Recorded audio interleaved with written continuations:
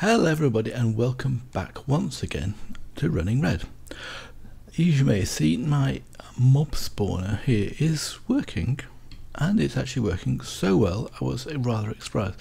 Here I put some dark glass so you can actually see what's going on. Let's turn the jetpack on and have a quick look. As you can see in here there are mobs getting ground and they can't see because of this dark glass. And that was no demand just to drop getting killed or ground I suppose is the correct term and this is also filling up nicely. So the first thing to do I did after having done this everything sort of has exploded in terms of abilities and capabilities I want to get a blood shard. Have I got a blood shard in here? Yes, I've got 16. And I've got lots of other things in there which we're going to come to very shortly. Now, the first thing is, oh, let's get rid of this. Of course, it gets noisy now, so let's just get rid of that. What I'm going to do with this blood shard is I'm going to shut some more, some more stuff in here. Now, bones gunpowder don't have any, but I've got plenty of rotting flesh. And it's very noisy, so I'll speak a bit louder. And here I actually have the one that I actually wanted, and this is the Master Blood Orb, which I keep confusing the Master Blood Orb and the Magician's Blood Orb. And the way I do this, I'll show you this. I was really surprised. This altar's got 25 or nearly 25,000 life essence. Let's put this weak blood shard in here and get out of the way because I want no mobs to spawn and here's a good place. What I, when I was doing this I didn't expect this to work. And all of a sudden it started to work and I was a bit surprised. We can actually come over here. We can see it. No we can't. Uh, get through the gap here. You can see it sort of bubbling away there. It's still at the moment the blood shard and hopefully there are enough mobs in there to to fill up the altar as quickly as it's going down. And the idea was I wanted to get the Well of Suffering and the Well of Regeneration, I think is the one I wanted, together. And I was putting them on top of each other, but that doesn't work.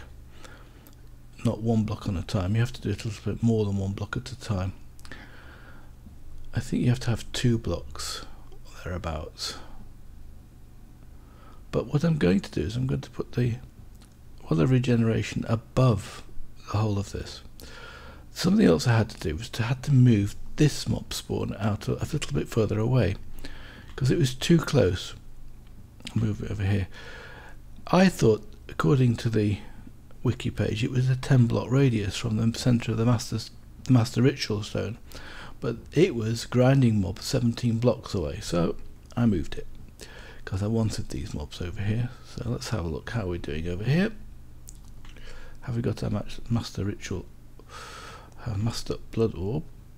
Nope not yet. But there are plenty mobs there. You can see them now.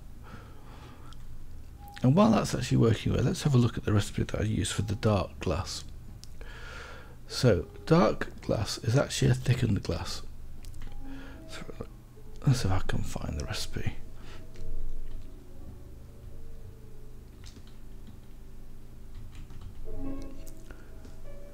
And it's, I think, it's this recipe here, extra utilities dark glass. This is the one. So you have to have some blackout curtains and some ink. The blackout curtains are simply just wool, six wool in a door pattern. It gives you 12 of those. black dye is plentiful supply, and the thickened glass is made out of smelting sandy glass. Sandy glass is sort of a recipe similar to, well, just what was I thinking of? The one from Tinker's Construct, the template one. The paper is the same, cross little cross with glass and sand, and that makes four sandy glass, which you then smelt and gives you four glass.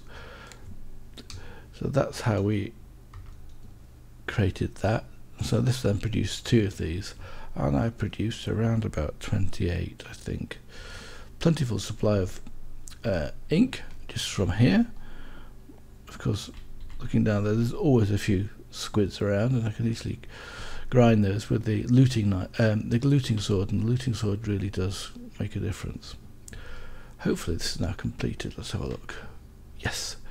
So you see now I've got a second master blood orb, and the altar's full. Let's put the other one back in because I'm bound to need two. I don't ask me why. I just got the feeling I need two.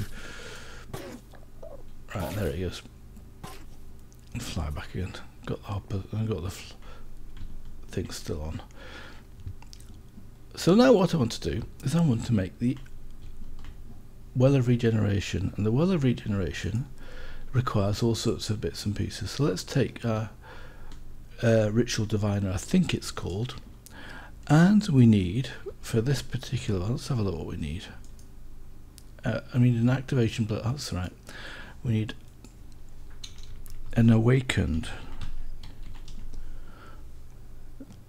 activation crystal, and that is made by a weak activation crystal Incendium, Aether, Aquarius, and a Demon Blood Shard. Now these are all fairly straightforward to make. This is one lava bucket, netherrack, simple catalyst, and incendium produces incendium. And you just need the magician's blood orb or higher, I think. It tells you here. No, even the apprentice blood orb and higher will do that one. This one here, Aether, is relatively straightforward. Two feathers, one ghast tear, simple catalyst, and glowstone. Uh, Aquelis is a water bottle, three water bottles, one ink sac, and simple catalyst. But this is the hard one, the demon blood shard. We could use another start, but I think that's even harder. So the demon blood shard, how did we get that? We have to go and kill a demon, strangely enough. So I did it and I'll show you how I did it. So the first thing I had to do was to make an, some arcane plinths and some arcane pedestals. Actually I need six. And the recipe for these, let's have a look, is one weak blood shard, an obsidian. So need, you need seven of those because you need the one for the actual plinth as well. So the plinth recipe is this one here. That's one plinth with blocks of iron. And what you do with these you come along here and you'll notice my little chessboard, so to speak. It's not really, but it gives you a good indication of what we need. Let's put these two down here and put them and lay them out. So the center, the plinth goes in the middle and the pedestals go around the outside. They make quite a bang those uh, creepers when they blow up and give a what do they give a seed now what we need to do, we need to get prepared for this as well. There's a little bit of tricks. We need to make, where has it gone to? Wrong window. We need to make six of these because we've got to put one of those on each pedestal. So what's the recipe for these ones? I did it before and I think I've got everything prepared. I hope I have anyway. So the recipe for this one was I think this is the one with the, the feathers, isn't it? And the ghast tears. Yes, it is. Well, I've got plenty of simple catalysts. I did a whole stack, actually, created a whole stack. So we need six of those. We need six ghast tears. And I've already forgotten what else I need. I think it was six glowstones. So look, and 12 feathers, that's right. And uh, again, with the looting sword, the feathers are in a plentiful supply. So all we need to do then is to split these two up, right click it, put those up, put that one up and put these up, and then simply just wait and we will get six of these aethers. There is something else I can do as well while this is working It doesn't take very long. We can automate this process with this uh, alchemy chemistry set because it is a bit of a pain. And we do that with the ritual stone here. So what we need, see this is the ritual of re re regeneration. So let's, hmm, which way around are we going to do it? Let's do, let's do this first actually. So I need my bound blade, and my bound blade is actually got smite 5 and looting 3. It's not activated at the moment, and I want the magnet sigil of sigil of magnet magnetism magnetism. Can't speak again, and I want to activate that. And the reason, oh no, I don't want to activate it just yet, do I? And what we have to do is put right click these on each pedestal, like this, if I can get around.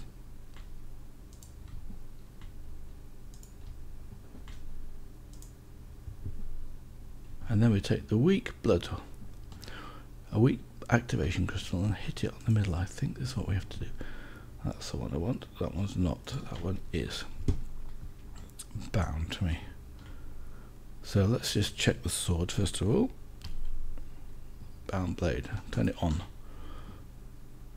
Bow is also there. I won't need the bow, but I, but I do want to activate this because we're fighting over a void. So when the thing drops down, there's a chance of it dropping into the void. I don't want to happen. So let's write. Oops. I right click that. That was strange.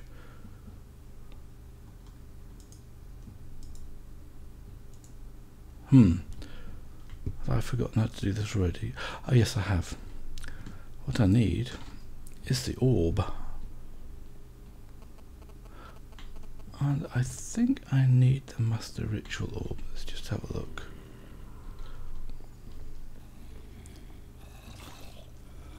So the Master Blood Orb again, I'm getting the wrong name for things. It's funny going back your fly. And then I right click this on here, I think is what I do. Yes, there you go. And you stand back. And when these are done, yes, a demon will be created. So it's taking one at each time. Right now. There he goes. Now we've got to kill this thing. And it sends you up. But it sends you up vertically. So then it flies along towards you. I think we fly down towards it and we try and hit it with the sword. But it can be difficult this thing. So let's get going. And it sends me up again. Fortunately with the jetpack this isn't too difficult.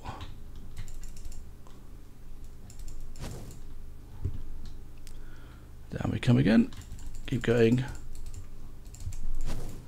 We going up quite high.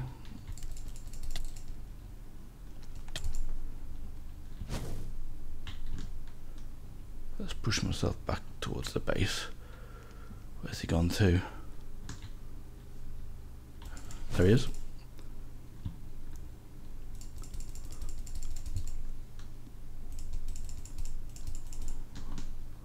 Right, I think that's it. It is that. Ooh, quite exciting, but the jetpack certainly does help. And there's quite a long way to come down. Of course, you can just press F and fall down quickly, and then press it again before we get to the bottom.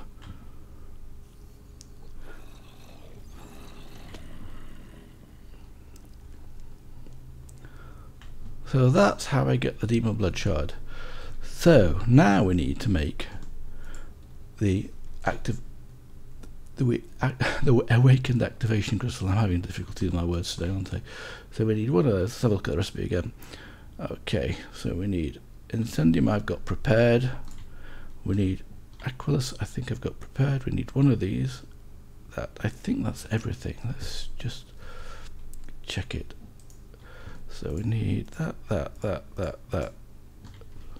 And it's bound to need the Master Blood Orb, which should have come back to me. Yes, it's on the plinth still, isn't it? Let's, let's just grab that off there. Try again with a blank hand, of course. There we go. Where am I? Lost my bearings. Let's just put this in here. And you'll see it's now doing its business and hopefully in just a few seconds we have the awakened activation crystal. Fantastic. So I need to right click that so it's now part of the network. You have to do that with everything. So that was really rather an exciting time. Let's turn this off. Let's go and get eat a bit because it looks like my health's a weeny bit down from all of that. Uh, I didn't watch that actually, I should have done. Okay, now I need some of these and some of these. Basically, that's it. And I need the and this thing, and I need to set this now to being the ritual of regeneration. Let's go and do this on the top of. Uh, before I go and do that, that's one more thing I want. This one. You'll see why in a second. Because it has to be one block up. And what I'm going to do, is I'm going to put this in the middle of this thing. If I can figure out where the middle is. And I can't because I've forgotten my tape measure. Let's do it the easy way. I think tape measure's in here. Yes it is, look. Let's move that out of the way and put that in the way.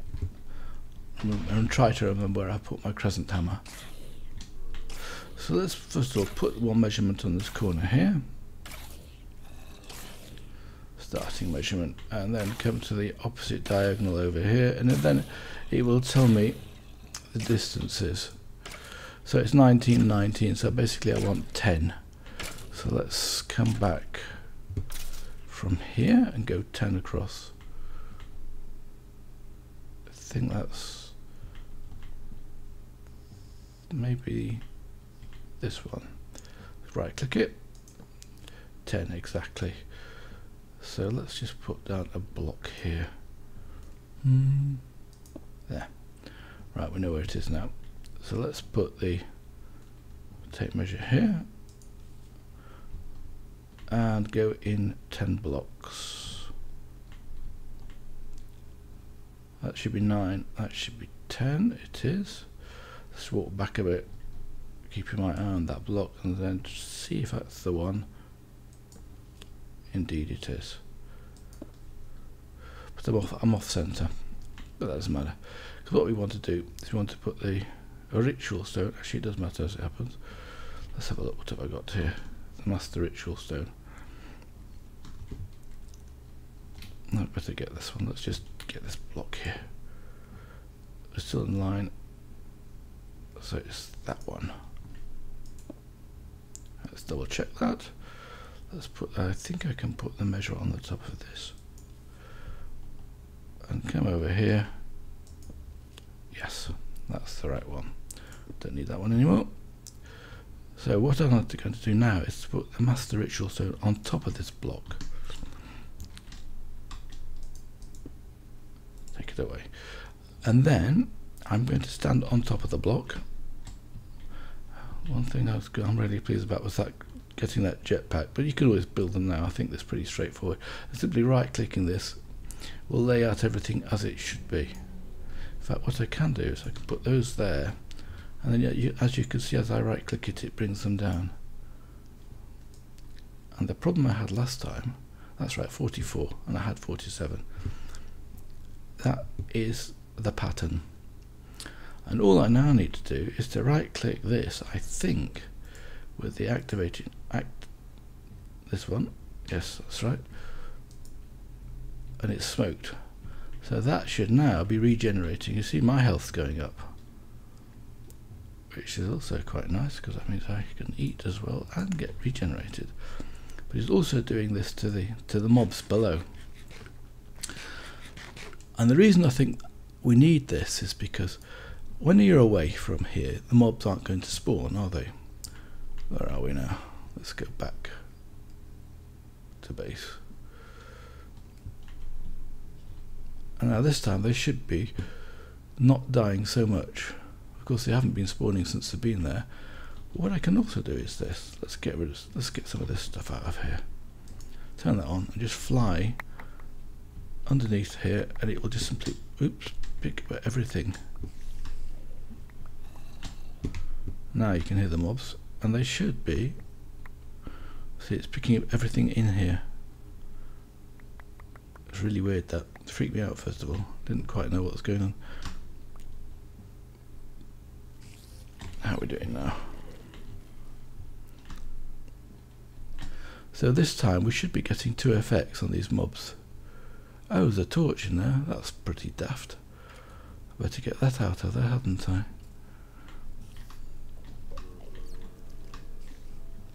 I hadn't even noticed that. It must be around about here.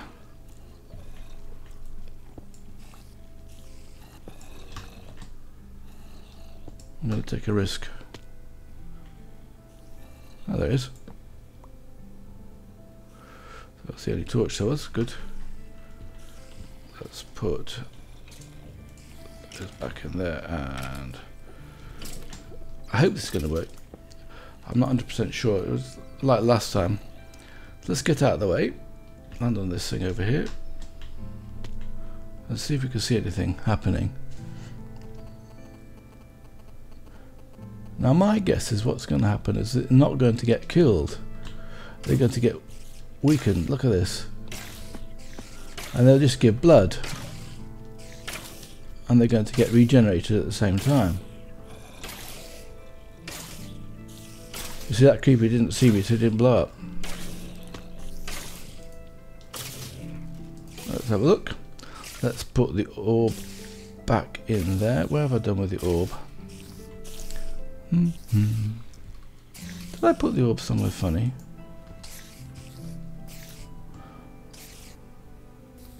I must have put it back in this chest over here, huh? I think it's that. Nope. Yes. Nope, that's the other one. Oh, it's in the um, it's in the alchemy. This one, isn't it? In fact, we can use this one just as easily. So we can right-click that, join it to my network, and put it in here.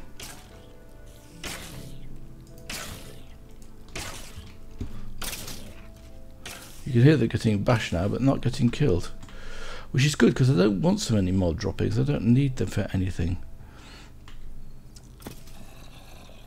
Let's get rid of the stuff that I've got in my chest anyway. I've got in here. If I sort, if I center click this, I should be able to sort everything, and I should be able to get rid of the stuff I don't want. I think it just filled up everything, didn't it? Gunpowder. So, somebody is suffering over there, I can hear him. Now what have we got in here that I don't want? Just creeper plant seeds, I think. Electrum nuggets? How did I do that? Hungry brain. Creeper plant seeds go in there. And I think that's everything. So what we can now do, of course, is turn off the sword. Shift right click and get the dagger of sacrifice and come over here and slay a few mobs.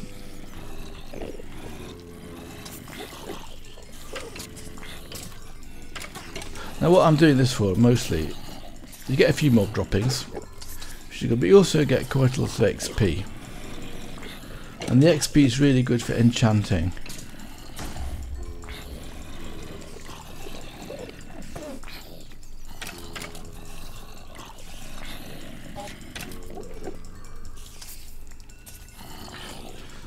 Uh, there's a, a lot of mobs in there, as you can see.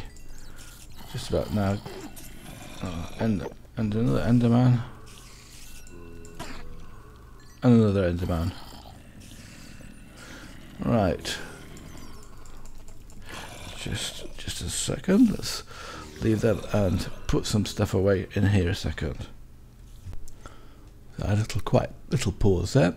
So jetpack energy is now low, so we can let's get rid of some of this stuff. It's just get so much stuff all the time. It's ridiculous. 200 pearls, one head. You see everything's going on. And I got resonant tank in there as well. So, resonant portable tank that is. So basically that was what I wanted to show for this episode. How to get the activation crystal. I haven't been through the recipes, that's fairly straightforward. You can do that yourselves basically. It's not necessary that I I only got one arrow, that's not very good, I better get some more. Let's have a look in this chest here. And there is another tip I've got as well when it comes to things like um, this. I used to have this this fluid duct on the side, but what was happening is when the creepers explode to drop their seeds, it actually was blowing up the pipe. So I've moved it to the back here, Underneath, I've got this one going into this obsidian chest. Bit of an overkill, of course, but having an obsidian chest here, they don't really need it. But uh, I've got it anyway. And there's no risk of anything in here getting blown up by the creepers, even if it does go completely wrong. And it looks like I've got some more of these. Now, 86% 71 times be why one's growing faster than the other at the same time. So that's basically it. Now, in the next episode, I'm going to go and show you about this thing here. It's a teleposer, and it's a way of quick travel. I'm also going to go back to the nether because, as you may notice, I've now got 36 blaze rods. And I'm also preparing stuff for the um, for the last quest on this. Well, the, I think it's the penultimate quest anyway. So we'll do that. And is anything else that's happened here? The there's so much happening here. I went to the nether. I did actually find some nether wart, and that grows up really fast. And I get plenty of items in here. At the state of this. It's full of clay, peat. Got a reasonable amount of nether, lots of sand, lots of dirt, without having to go and do that manually. So that's a good cheap way, if you like, of getting dirt. Now there's no problem with power. I planted some barley. I planted some alderwood trees, which of course are not getting chopped down. Some mushrooms here which grow because this is a big oak tree. I've got another hive. And I haven't done anything with bees. Right, we should do that actually. Let's put this in here. And this one in here you see the bees are working away and these high, these frames are nearly finished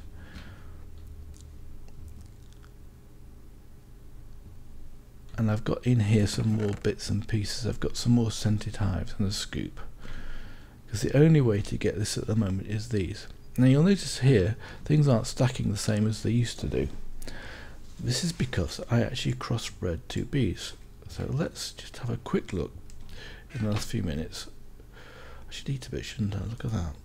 Let's do that as well, because it seems to be... I don't quite know why. After that regeneration, I'm so hungry. Never mind.